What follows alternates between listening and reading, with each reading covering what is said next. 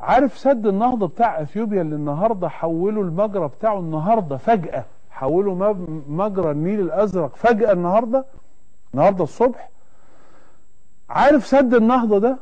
اسمع المفاجأة كده. حازم أبو إسماعيل مجددا. إثيوبيا بتبني سد خطير على مصر ينقص مية مصر مصر مش هتعرف تزرع مش هتعرف تشرب مش هتعرف كذا هيبقى فيها عطش. يفتح النار مرة أخرى على الإمارات وكأنه البوق الإعلامي المتخصص. عارف مين اتضح اللي بيدفع ل...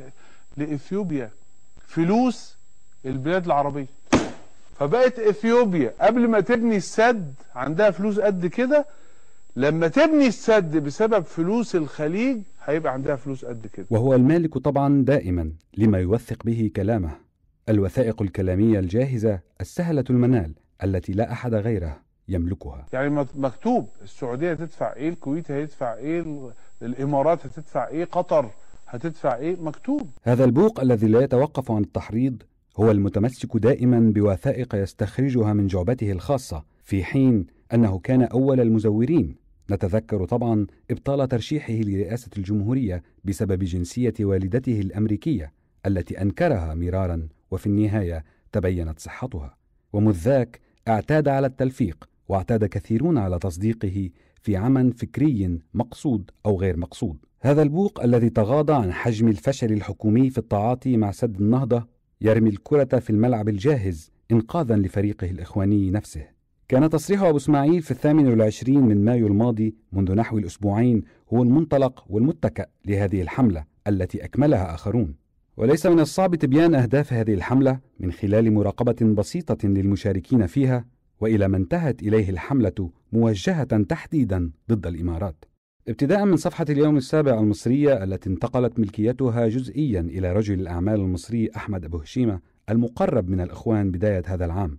نقلت اليوم السابع عن نائب إخواني قوله من يلطمون الخدود على سد أثيوبيا رايحين جايين على الإمارات.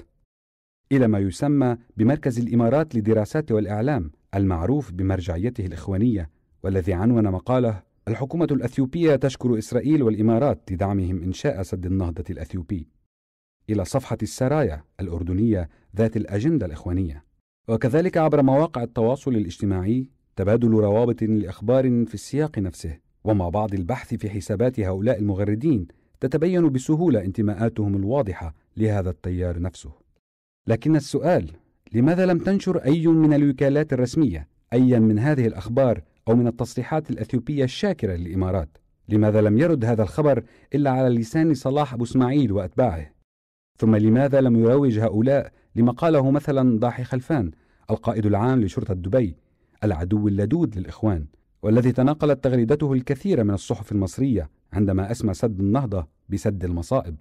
ولماذا لم يروج هؤلاء أيضا لتصريح رئيس المجلس العربي للمياه وزير الري الإماراتي السابق محمود أبو زيد الذي دعا إلى حل دبلوماسي رافضا محاولة استبدال نهر المياه الذي يمد المصريين بالحياة إلى نهر من الدماء مشددا على أن مخطط تحريك الكراهية والعداء من دولة محتلة في الشرق وكان يقصد هنا بالطبع إسرائيل. إلى دول تمدنا بخمس وثمانين من احتياجاتنا المائية في الجنوب لا يجب السماح به تحت أي ظرف من الظروف.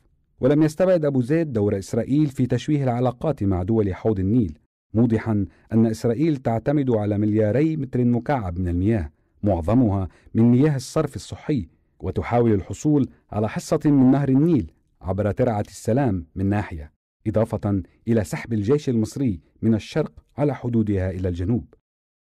الأكاذيب لا تصنع الحقيقة يا أبو إسماعيل. نعم الأكاذيب لا تصنع الحقيقة كما قالت صحيفة الخليج الإماراتية في مقالها الافتتاحي التاسع من يونيو ونقلتها عنها وكالة الأنباء الإماراتية لكل المحرضين ضد الإمارات. نعم صلاح أبو إسماعيل مكشوفة أغراضك وأكاذيبك ولكن دائما هناك من يرى مصلحة في تبنيها.